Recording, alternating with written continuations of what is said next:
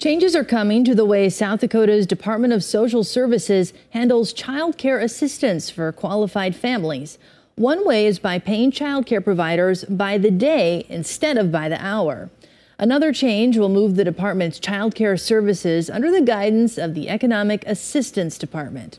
DSS is also encouraging more providers to become registered with the state so they can have access to the subsidy program. You can find more from today's presentation to the Joint Committee on Appropriations in a KELOLAND.com original by Eric Mayer online now.